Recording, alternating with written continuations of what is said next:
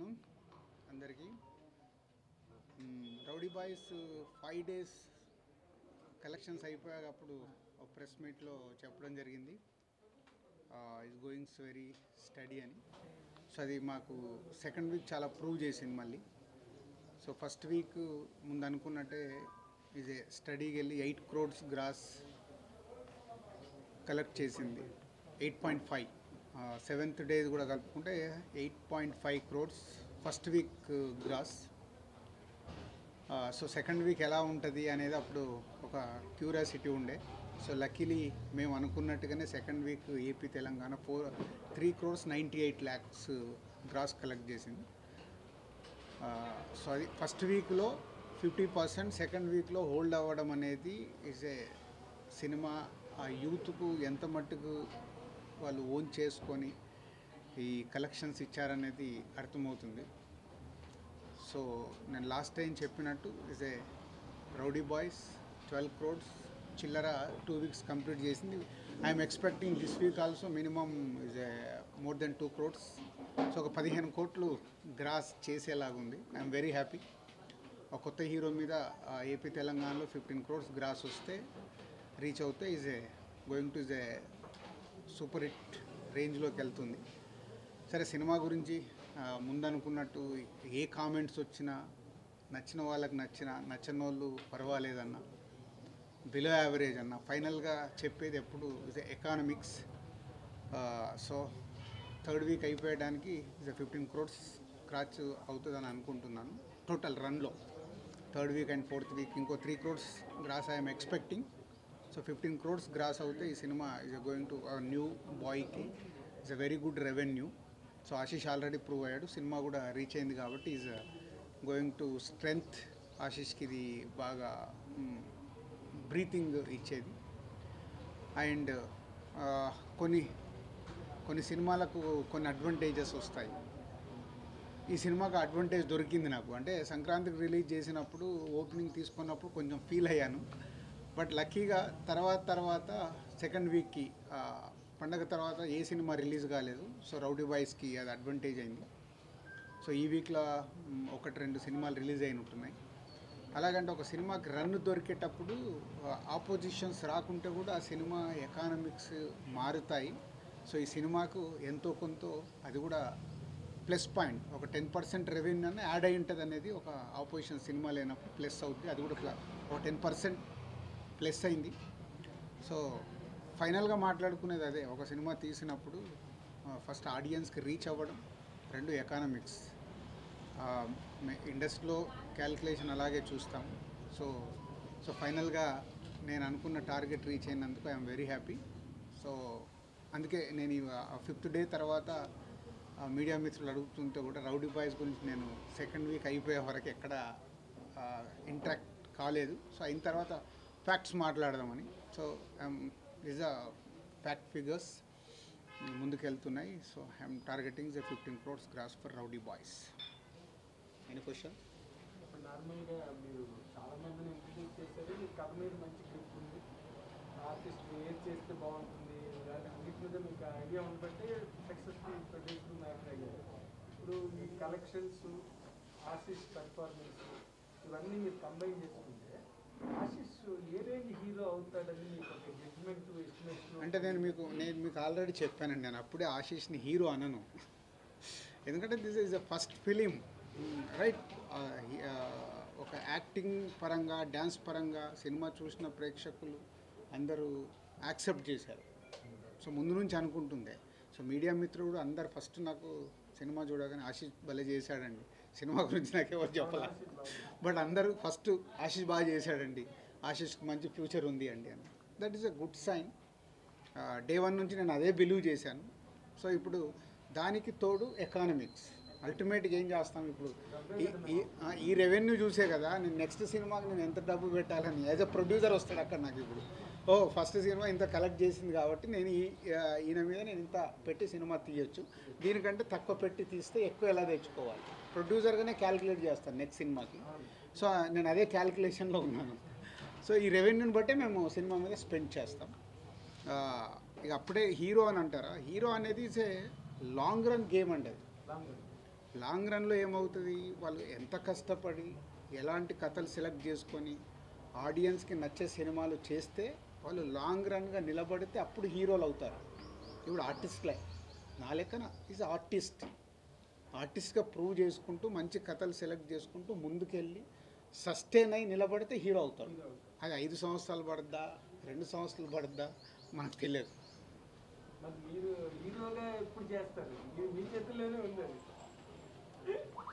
అచ్చా ఆశీష్ని హీరోగా ఎప్పుడు చేస్తారు ఎప్పుడు అంటున్నారు చేస్తారు? అది అది అంటే అదేనండి ఇప్పుడు నా చేతిలో ఏముంటుంది? సో లక్కీగా ఇద్దరు ముగ్గురు ప్రొడ్యూసర్స్ రౌడీ బాయ్స్ రిలీజ్ తర్వాత అప్రోచ్ అయ్యారు. మేము అనుకుంటామండి ఒక కథ చెప్తామండి ఏ బడ్జెట్ అంటే అప్పుడు కాదండి. సెకండ్ సినిమా నేను లాక్ చేసుకున్నాను. సో ఫస్ట్ సినిమా కంప్లీట్ అయిపోనివ్వండి. కంప్లీట్ అయ్యాక రెవెన్యూ ఏంటి? నేను సెకండ్ సినిమా ఎలాంటిది తీయబోతున్నాను? అప్పుడు మీరు ఎలా అనుకుంటున్నారు? అప్పుడు డిస్కస్ చేద్దామని నేను ఎవరికి ఆశీష్ విషయంలో ప్రామిస్ ప్రామిస్ చేయట్లేదు. తెలియదు. అది వెళ్తున్నా కొద్దీ చేసుకుంటూ వెళ్ళాలి. సో అందుకే అప్పుడే మనకి ఏం తెలియదు. Every film challenge every film కష్టపడాలి చెయ్యాలి వాళ్ళు ముందుకెళ్ళాలి. ఇప్పుడు నేను ఆశీషే కాదు ఏ హీరోతో తీసినా నాకు ఆ సినిమా ఛాలెంజే యాజ్ అ ప్రొడ్యూసర్గా ఆ సినిమాని నేను ప్రేక్షకులకు రీచ్ చేయడానికి ఏం చేయాలి? ఓల్డ్ టీమ్ అనేది ఛాలెంజింగ్ ఉంటుంది. మీరు చెప్పిన దాంట్లోనే ఇంకో క్వశ్చన్ ఉందంటే ఇప్పుడు లాంగ్ రన్ గేమ్ వాళ్ళు ఎలాంటి స్క్రిప్ట్లు సెలెక్ట్ చేసుకుంటారు ఎలాంటి సినిమా అప్పుడు హీరో పొజిషన్ అన్నది ఇప్పుడు ముందు చెప్పలేము ఇప్పుడు మీకు ఈ సినిమా తర్వాత తన పెర్ఫార్మెన్స్ అంతా చూసిన తర్వాత ఎలాంటి character every cinema every film can do a love love subject ఇప్పుడు ఎలాంటి కథలు డిఫరెంట్ కథలకి సరిపోతాడా? ఎలాంటి అసలు మీ జడ్జిమెంట్ ఏంటి అతను ఎందుకంటే మీ చేతుల్లోనే ఉంది. బేసిక్గా మీరు ఏమో. ఇంట్రడ్యూస్ నేను ఎప్పుడు ఏ సినిమా చేసిన మూడేనండి మనకు ఉన్నాయి. ఒకటి లవ్ స్టోరీ లవ్ స్టోరీలో ఫిట్ అవ్వాలి. రెండు ఫ్యామిలీ డ్రామా. ఫ్యామిలీ డ్రామా చేసినప్పుడు దాంట్లో ఫిట్ అవ్వాలి.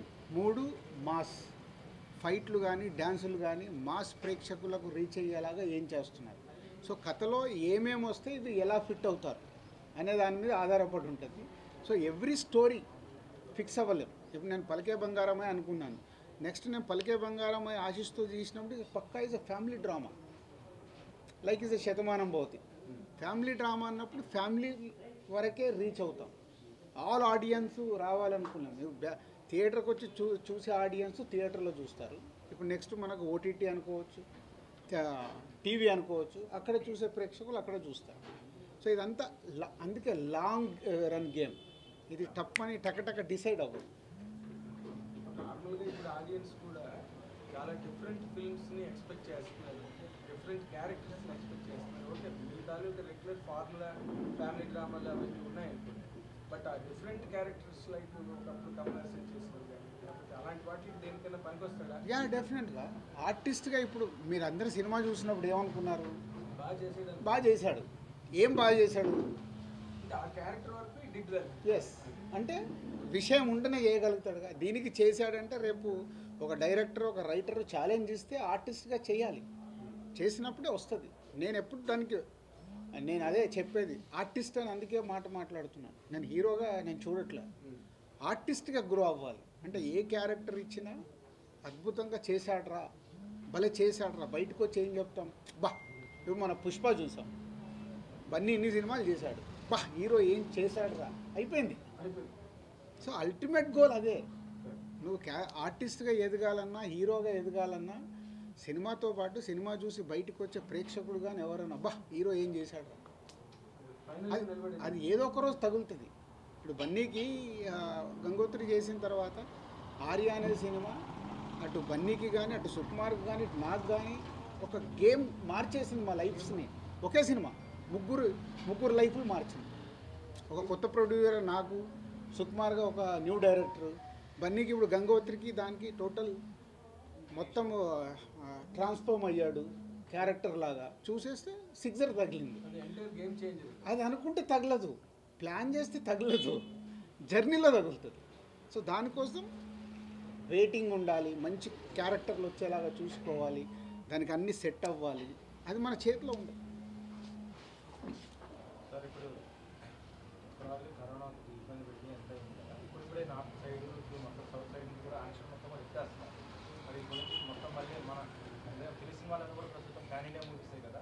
మరి వరుసగా యా నాకు నాకు తెలిసి ఫిబ్రవరి ఎండ్ నుంచి అందరూ ప్రిపేర్ అవుతున్నారు.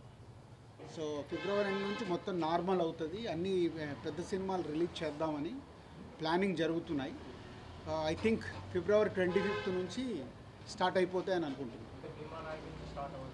అదే ఇంకా స్టార్ట్ అయిపోతాయి. ఫిబ్రవరి నుంచి ఫిబ్రవరి మార్చ్ ఏప్రిల్ మే వాళ్ళ స్టార్ట్ అవుతే అన్ని బిగ్ ఫిలిమ్స్ సమ్మర్ లోపల వచ్చేస్తాయి.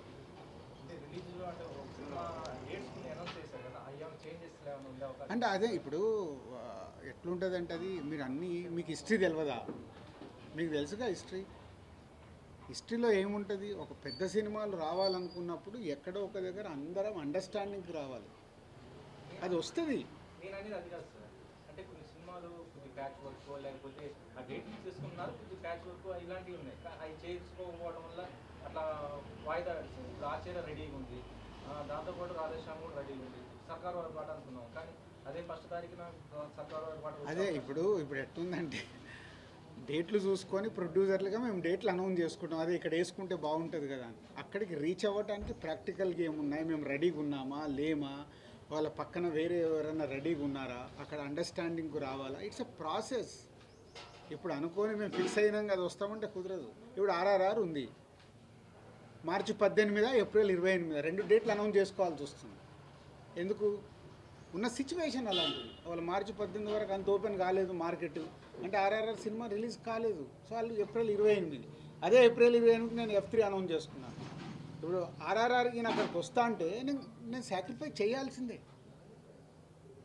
నేను ఇంకో డేట్ వెతుక్కోవాలి. ఎందుకు? ఆర్ఆర్ అనేది పాన్ ఇండియా సినిమా ఒక బిగ్ ఫిలిం వాళ్ళు అడుగుతున్నప్పుడు నేను కాదు అనలేను. సో ఇట్లా ఫైనల్గా ఇండస్ట్రీకి వచ్చే వరకు అందరము అండర్స్టాండింగ్కు రావాల్సిందే. ముందు ఒక మాకు ఉంటుంది అందరూ ఆ డేట్ అనుకుంటున్నాం ఇది అని. అనుకొని వెళ్తే అక్కడ వచ్చే సిచ్యువేషన్ని బట్టి మారుతూ ఉంటాయి. ఛాన్సెస్ ఛాన్సెస్ ఆర్ దేర్ అంటే ఏం లేదు ఇంకా లేవు. అంటే కమిటీ మూవ్ ఆన్ అయింది కాబట్టి కమిటీ గవర్నమెంట్కి రిపోర్ట్ ఇస్తే దాన్ని బట్టి అవుతుంది పాజిటివ్గా ఉన్నాం అన్నీ అయిపోతాయి.